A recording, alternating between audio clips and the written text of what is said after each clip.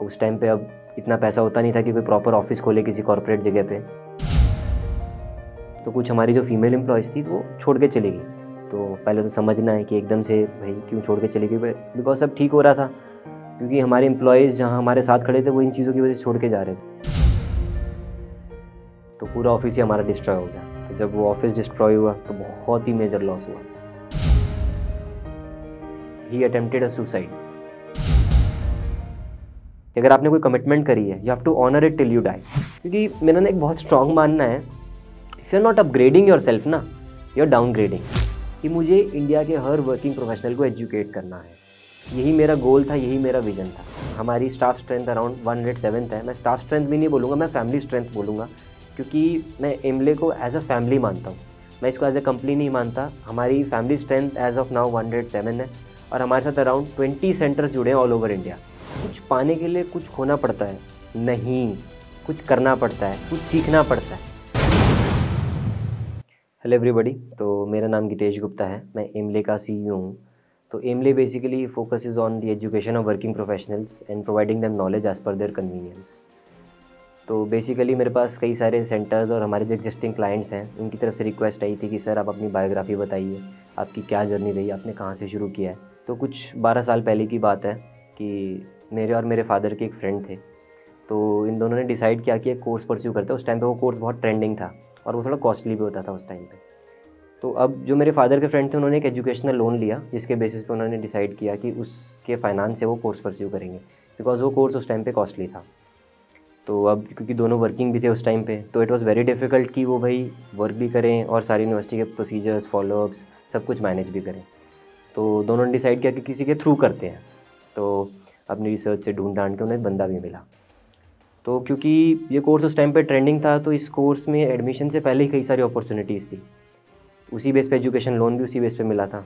तो उस टाइम पे 12 साल पहले एजुकेशन लोन मिलना भी काफ़ी डिफ़िकल्ट होता था। लेकिन क्योंकि ये कोर्स ट्रेंडिंग था तो एजुकेशनल लोन भी इजीली मिल गया था। तो मेरे फादर के जो फ्रेंड थे, उन्होंने ये सोचा कि मैं क्यों ना अपनी करंट जॉब से करंट जॉब से टर्मिनेशन दे के अपनी जो आगे आने वाली जॉब है, जिसके साथ साइमल्टेनियसली ये कोर्स परस्यू करेंगे, उसी पर ध्यान दूँ।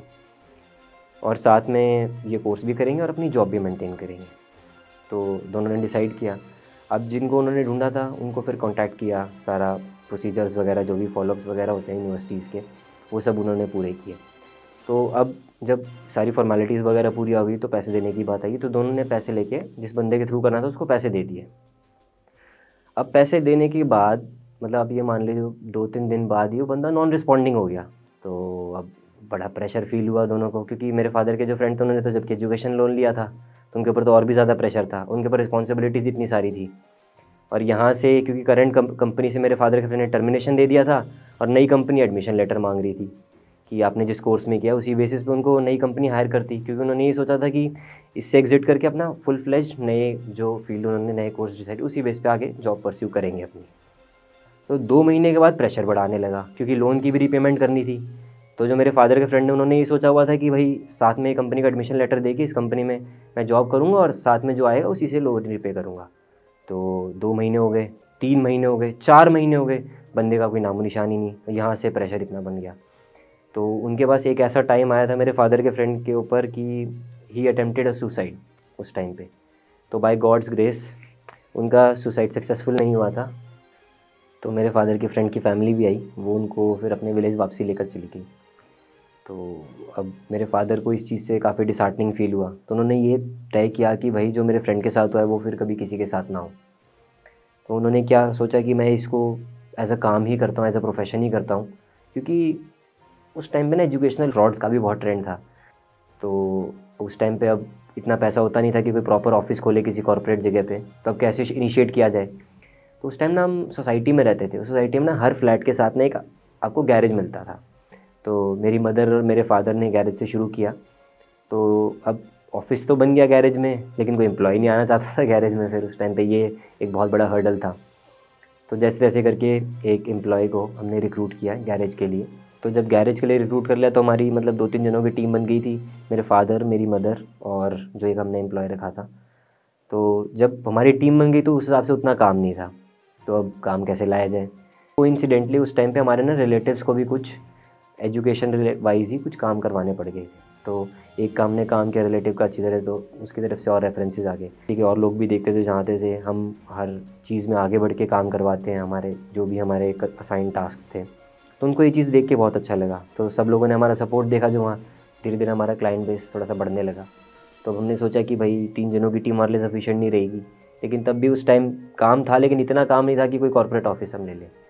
तो उस टाइम फिर ये डिसाइड किया कि भाई हमारा क्योंकि टॉप फ्लोर हुआ करता था उस टाइम पे। तो टॉप फ्लोर के साथ एक छत भी मिलती थी। तो हमने सोचा छत पे ही एक छोटा और ऑफ़िस बना लेते हैं। तो छत पे ऑफ़िस बनाया टिन शेड का ऑफ़िस था उस टाइम पे। कोई भी नहीं आना चाह रहा था टिन शेड वाले, जो टेरेस पे ऑफ़िस है। क्योंकि दो से तीन की टीम तो हमने कर ली थी। लेकिन तीन से आगे बढ़ाने के लिए, क्योंकि कोई भी आना चाहता है, वो सोचता है कि कम से कम ऑफ़िस टाइप स्ट्रक्चर तो हो। तो अब हमने कुछ अपने क्लाइंट्स को बताया, क्योंकि उनका वर्कलोड बढ़ रहा था कि ऐसे ऐसे हमारी टीम नहीं है। उन्होंने ही कुछ रेफरेंसेस दे दिए। क्योंकि उनको पता था जेनवनली काम कर रहे हैं तो ऑब्वियसली उन्हीं का ही काम होना है। तो हमारी धीरे धीरे टीम बढ़ने लगी तो टेरिस पे ऑफ़िस हो गया। अब टेरिस पे ऑफ़िस बन गया तो टेरिस पे ऑफ़िस के अलग चैलेंजेस होते हैं। उस टाइप जब चैलेंजेस होते थे तो गर्मी में बहुत ज़्यादा गर्मी हो जाती थी। सर्दी में बहुत ज़्यादा सर्दी हो जाती थी तो ये एक और मेजर इशू था। ये तो चलो हम डे टू डे बेसिस पे हम हर्डल्स इसको फेस कर ही रहे थे। फिर मानसून सीज़न आया। तो मानसून सीज़न में खूब तेज़ बारिश हुई, क्योंकि टिन शेड का ऑफ़िस होता था। सारा, हमारा सब कुछ जमा पूंजी सब उसी में रहती थी उस टाइम पे। हमारे जितने डिवाइसेस हैं, जितना जो हमारा सिस्टम है, जो हमने डॉक्यूमेंट्स वगैरह हमारे पास क्लाइंट्स के हैं, वो सब उसी में रहता था। तो बारिश आई क्योंकि टिन शेड का था तो एक लेवल तक तो वो सस्टेन कर सकता है, लेकिन उस टाइम पे कुछ ज़्यादा तेज़ आई थी वो। पानी था फोर्स था तो पूरा ऑफ़िस ही हमारा डिस्ट्रॉय हो गया। तो जब वो ऑफ़िस डिस्ट्रॉय हुआ तो बहुत ही मेजर लॉस हुआ। तो अब क्योंकि पैसे लिए हुए थे, सबसे कमिटमेंट्स करी हुई थी, अब समझ नहीं आया अब क्या करें। और प्लस हमारा जो सिस्टम था एग्जिस्टिंग स्ट्रक्चर था, वो भी सारा डिस्ट्रॉय हो गया था। तो हमने हमारे एम्प्लॉय से भी ये चीज़ डिस्कस करी, क्योंकि अगले दिन आया, देखा सबने उनके आगे ही था सब कुछ। तो हमारे कुछ एक दो एम्प्लॉयज़ हैं, मुझे आज भी याद है वो दिन। तो मेरे फादर मेरे मदर और मैं, हम तीनों खड़े थे। तो हमारे कुछ एम्प्लॉयज़ ने आके हमें बोला कि, सर, आप हमें दो से तीन महीने की सैलरी मत दो। जो भी आपके लॉसेज हैं, वो आप कवर करो। और आप इसको छोड़ के आप किसी कॉरपोरेट जगह पे थोड़ा सा जो यहाँ से बेटर है, जहाँ कम से कम आपका प्रॉपर स्ट्रक्चर है टिन शेड वाला ऐसा कोई टेम्प्रेरी सिस्टम नहीं है, वहाँ आप ऑफ़िस लो। तो उस टाइम ये सुन के बड़ा इमोशनल फील हुआ कि भाई ये तो हमारे एम्प्लॉयज़ नहीं है तो हमारी फैमिली है। उससे हमें बड़ा इमोशनली बहुत स्ट्रेंथ मिली कि भाई जब ये हमारे साथ है तो हमें किस चीज़ का डर है? तो अब फंडिंग तो उस टाइम पे थी नहीं थी उनकी सैलरी से भी एक certain amount of expenses cover हो सकते थे। लेकिन जब उनका ये एक्शन देखा तो हमारे अंदर और पावर आई, क्योंकि जब वो सारा स्ट्रक्चर टूट गया था तो बड़ा डिमोटिवेटेड फील हुआ था, बड़ा डिसहार्टनिंग था, क्योंकि बहुत मेजर लॉस हुआ था। तो जब हमें लगा कि हमारे साथ खड़े तो हमें किस चीज़ का डर है? तो हमारे पास ही ना एक मॉल सा था स्पेसिफिकली आप प्रॉपर मॉल तो नहीं कह सकते, क्योंकि इस एरिया में उस टाइम पे हम थे। वो एक थोड़ा अंडर डेवलप्ड एरिया था, लेकिन क्योंकि कॉरपोरेट बहुत कॉस्टली था, हमने सोचा इसी में शिफ्ट करते हैं, क्योंकि फंडिंग भी उस टाइम बहुत कम थी। हम उसमें हम शिफ्ट कर गए जैसे जैसे तो अब वहाँ शिफ्ट किया। तो कुछ हमारी जो फीमेल एम्प्लॉयज़ थी, वो छोड़ के चली गई।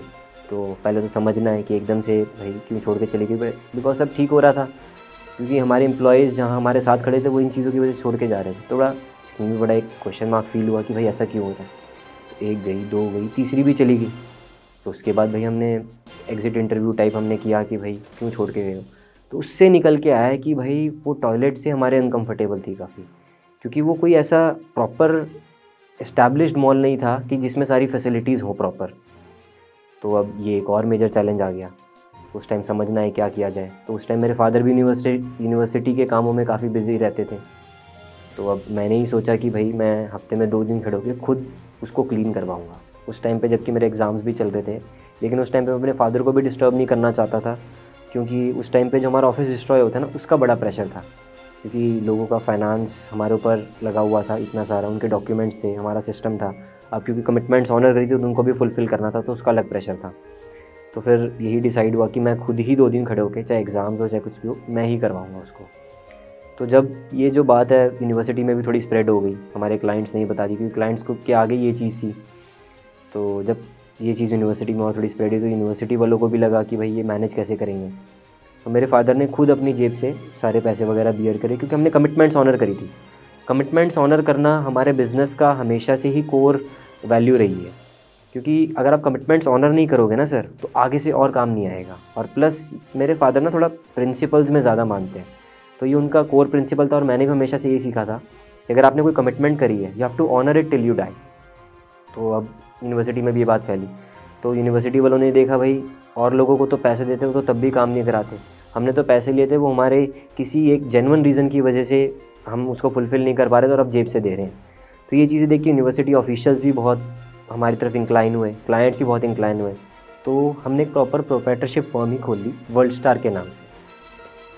तो कुछ टाइम हमारा काम चलता रहा तो उसके बाद ना गवर्नमेंट की कुछ पॉलिसीज़ आई कि जो एम एच आर डी ने दी थी कि P H D is compulsory for certain jobs और अगर आपको प्रमोशन चाहिए तो P H D is compulsory कुछ जॉब्स आपको सस्टेन ही करनी है इवन तो P H D is compulsory उस टाइम पी एच डी बड़ा ट्रेंडिंग था, लेकिन बोर्ड काफ़ी डिफ़िकल्ट भी होता था, क्योंकि पी एच डी की फॉर्मेलिटीज़ बड़ी डिफ़िकल्ट होती हैं. Thesis paper writing publication conferences seminar P P T guide का कंसेंट गाइड से अप्रूवल लेना यूनिवर्सिटी फॉलोअप्स एंट्रेंस एग्ज़ाम तो काफ़ी डिफ़िकल्ट होता था एक वर्किंग प्रोफेशनल के लिए. अब क्योंकि उसे अपनी जॉब भी मेंटेन करनी है, अपना फ्यूचर भी सेव करना है और साथ में ग्रोथ भी करनी है और टाइम भी मैनेज करना है। तो हमने सोचा कि पीएचडी वाली लाइन को भी ट्राई करते हैं। इसके जो भी प्रॉब्लम्स हैं, सबके हम करवाएँगे। तो पीएचडी में क्या था कि अगर आप किसी डॉक्टरेट लेवल के बंदे को सपोर्ट करो तो आपका डॉक्टरेट लेवल का स्टाफ होना चाहिए। दैट इज़ वेरी इंपॉर्टेंट क्योंकि अगर आपको उसको सेटिस्फाई करना है thesis synopsis paper writing publication conferences seminar PPT इन सब की आपको खुद अंडरस्टैंडिंग होनी चाहिए, तभी आप उसको राइट गाइडेंस राइट काउंसलिंग दे पाओ। तो अब क्योंकि हमारा उस टाइप का स्ट्रक्चर नहीं था कि हमारे पास कोई डॉक्टर लेवल का स्टाफ है तो अब क्या किया जाए? कि हमारे छोटे छोटे ऑफ़िस तो थे दो तीन उसी मॉल में। तो अब हमने ये सोचा कि और कैसे बढ़ाया जाए? तो हमने क्या किया कि डॉक्टर लेवल के स्टाफ की हायरिंग शुरू कर दी। के साथ ही साथ हमने हमारी प्रॉपर जो हमारी फॉर्म है एमले उसकी भी एंट्री करवा दी। क्योंकि पहले हमारी थी वर्ल्ड स्टार अब है हमारी एमले तो ये हमने कोई बाय चॉइस नहीं किया। It was the only availability क्योंकि जब भी आप किसी प्रोप्राइटरशिप फॉर्म से प्राइवेट लिमिटेड फॉर्म में जाते हो ना your name should be unique तो उस टाइम पे वर्ल्ड स्टार अवेलेबल नहीं था। तो कई लोगों के मेरे पास क्वेरीज आते हैं मैसेजेस आते हैं कि, सर, पहले आपका वर्ल्ड स्टार था, अब आपका एम है तो are you trying to hide anything उसमें भी मैं एक चीज़ कहना चाहूँगा, चाहे आप हमारी वेबसाइट देखो, चाहे हमारा कोई लोगो देखो आप, चाहे हमारा कोई कैंपेन देखो, चाहे हमारा गूगल देखो, हर जगह आपको एक चीज़ ज़रूर मिलेगी एमले फॉर्मरली वर्ल्ड स्टार हम कोई चीज़ हाइड नहीं कर रहे हैं, हम हर जगह लिखते हैं। But it was due to availability कि हम वर्ल्ड स्टार नहीं पिक कर सकते थे because it was already taken तो अब जैसे जैसे हम लोगों को साथ के साथ ट्रेन भी कर रहे थे तो उनकी नॉलेज बढ़ रही थी। तो जो हमारी पीएचडी सेगमेंट जो हमने नई लॉन्च करी थी, उसमें लोगों का सेटिस्फैक्शन बढ़ रहा था। क्योंकि उस टाइम जो पॉलिसी आई थी, उसकी मैंडेशन इतनी ज़्यादा नहीं थी, लेकिन धीरे धीरे उसकी मैंडेशन बढ़ती गई। तो हमारे साथ कई सारे यूनिवर्सिटी के professors assistant professors associate professors कई सारी यूनिवर्सिटी के ऑफिशियल्स भी जुड़े थे, उनके लिए भी मैंडेशन हो गई। तो जब उन्होंने हमें देखा कि भाई ये प्रॉपरली सारी चीज़ें कर रहे हैं with the right knowledge with the right guidance with the right counselling तो उनको उनको भी ये चीज़ बहुत अच्छी लगी, क्योंकि उनके लिए भी ये चीज़ कंपलसरी थी। हमारे पास यूनिवर्सिटीज़ से इतना काम आने लगा। दैट इज़ वेयर वी मतलब हमारा काम पूरा स्टेबल हो गया और इट वॉज़ ग्रोइंग हमारे पास बाहर की भी इंक्वायरीज आने लगी इंडिया की भी और आउट ऑफ़ इंडिया की भी तो सारा हमारा काम पूरा प्रॉपर स्प्रेड होने लग गया।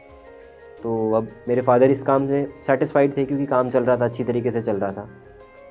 लेकिन मुझे ना वो सेटिस्फैक्शन फील नहीं हो रही थी, क्योंकि मेरा ना एक बहुत स्ट्रॉन्ग मानना है if you are not upgrading yourself ना यू आर डाउन ग्रेडिंग क्योंकि क्या होता है ना, आप मान लो इस लेवल पे हो, और मार्केट हमेशा ऊपर चढ़ती रहती है सर आप मान लो इस लेवल पे हो और मार्केट ऊपर चढ़ते चढ़ते आपको एक ऐसा टाइम आएगा ही आएगा जो आपको ओवर क्रॉस कर ले. तो मैं सेटिस्फाइड नहीं था. काम अच्छा चल रहा था, काम में कोई दिक्कत नहीं थी, लेकिन मैं सेटिस्फाइड नहीं था. मुझे और कुछ ना कुछ ऐसे ऐड ऑन करना था जो मैं लोगों के लिए कुछ अच्छा कर पाऊँ. तो मैंने एक चीज़ ऑब्ज़र्व करी कि जो वर्किंग प्रोफेशनल्स हैं, वो क्लासेस वगैरह प्रॉपरली अटेंड नहीं कर पाते यूनिवर्सिटीज़ की। अब उनकी भी गलती नहीं, क्योंकि वो वर्किंग है। कहाँ कहाँ वो अवेलेबल रहेंगे एक टाइम पे? तो उनकी अटेंडेंस एक तो कम होती थी और प्लस अटेंडेंस मान लिया कम भी थी। जब वो प्रेजेंट भी होते तो उनको ना राइट नॉलेज वो ग्रैब नहीं कर पाते थे सर तो मैंने ये चीज़ सोची कि क्यों ना हम इनको राइट नॉलेज भी दें। लेकिन अब राइट नॉलेज देने लगे तो उनके क्या टाइमिंग्स बड़े ऑड होते थे। सैटरडे को रात को ग्यारह बजे सैटरडे को रात को बारह बजे संडे को सुबह दो बजे या फ्राइडे को शाम को पाँच बजे। तो टाइमिंग्स बड़े ऑड होते थे। मैंने ये चीज़ एनालाइज करी, हमें इनको ये फ्लेक्सिबिलिटी देनी ही पड़ेगी ताकि अपनी कन्वीनियंस के अकॉर्डिंग नॉलेज लें। तो हमने उनको, उनकी कन्वीनियंस के अकॉर्डिंग नॉलेज भी देना शुरू कर दिया। और उससे बड़ा अच्छा फीडबैक आया।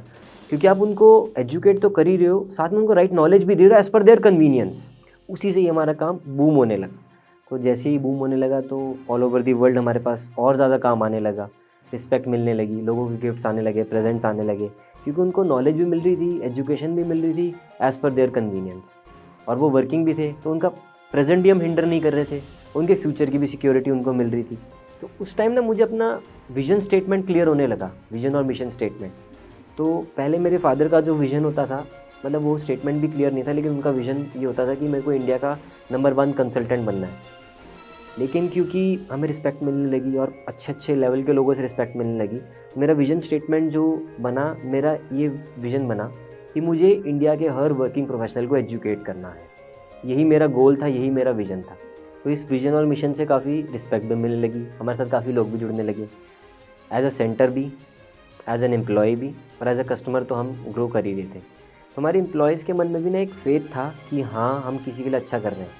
क्योंकि मेरा ये मानना है कि नोबिलिटी इज़ वेरी इंपॉर्टेंट आप किसी से बेशक पैसे ले रहे हो, लेकिन आप उसको कुछ ना कुछ ऐसे वैल्यू ऐड ज़रूर करके दो कि भाई उसको ये ना लगे, पैसे दे के कभी भी दुख ना हो। तो इसी वजह से हमें एक और सेगमेंट भी लॉन्च करी थी मैंने हमारी, जो की थी जॉब अपॉर्चुनिटीज़ की। कोई बंदा हमसे पीएचडी करता है ना हमारे थ्रू तो हम उसी को ही एक जॉब अपॉर्चुनिटी भी दे देते हैं, जैसे उसकी पीएचडी कंप्लीट होती है। क्योंकि हमारी कई सारी यूनिवर्सिटीज़ हैं जिनके हम टाइड अप हैं, उसमें क्या गाइड्स की तो हमेशा ज़रूरत रहती ही रहती है। तो लोगों को भी काफ़ी अच्छा लगता था, क्योंकि एक टाइप से उनका पैसा ही रिम्बर्स हो जाता था, जब हम उनको कोई ना कोई जॉब अपॉर्चुनिटी देते थे।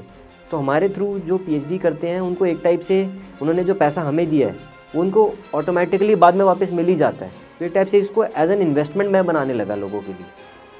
रिस्पेक्ट भी मिलेगी डॉक्टर टाइटल के बाद, और जो आपने अपनी पूरी पीएचडी की जर्नी में जो भी आपके एक्सपेंसेस रहे हैं, वो सारे आपके जो हम जॉब अपॉर्चुनिटी देंगे, उससे पूरे भी हो जाएँगे। और प्लस अभी thank God as of now हमारी staff strength around one hundred seventh है। मैं स्टाफ स्ट्रेंथ भी नहीं बोलूँगा, मैं फैमिली स्ट्रेंथ बोलूँगा, क्योंकि मैं एमले को एज अ फैमिली मानता हूँ।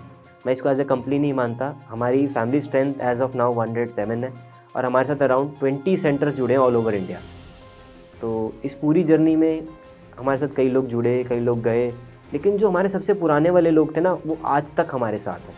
तो वर्क इज़ गोइंग वेल मतलब बिज़नेस वाइज एवरीथिंग अच्छा चल रहा है। हमारे साथ लोग भी जुड़ रहे हैं तीनों सेगमेंट से। लेकिन मैं वही अभी भी सेटिस्फाइड नहीं हूँ। आई वॉन्ट मोर तो अब मेरे फादर कहते हैं कि भाई और क्या आपको चाहिए? आपके पास ऑलरेडी है इसी को ही सस्टेन करो। लेकिन मेरे अंदर जो हंगर है ना वो हमेशा मेरे को कुछ ना कुछ और आ, मेरे पास लाना चाहती है। मैंने जैसे पहले भी कहा था if you are not upgrading yourself you are basically downgrading तो अब एमले एक और नई सेगमेंट ला रहा है। It will be very soon मतलब उस पर हम वर्क कर रहे हैं और बहुत ही जल्द हम उसको लॉन्च कर रहे हैं। That is about real life experiences experiences are very costly boss आप पैसे दे के भी लोग आपको एक्सपीरियंसेस नहीं देते अब एक्सपीरियंसेस किस चीज़ के?